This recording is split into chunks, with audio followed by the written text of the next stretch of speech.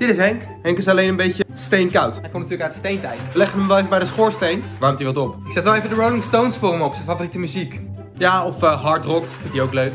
Prima hoor, dan draag ik ook een steentje bij. Eh, hij is wel een beetje snel op zijn steentjes getrapt. Dus echt niks anders. Hij moet wel betalen, hè? hij is steenrijk. Het is wel een steenbok, hè? Dus die zijn nogal... Uh... Echt een dondersteentje. Kijk. Het is net een steenpuis zo. Waarom springt hij nou uit het raam? Hij zal stoned zijn geweest.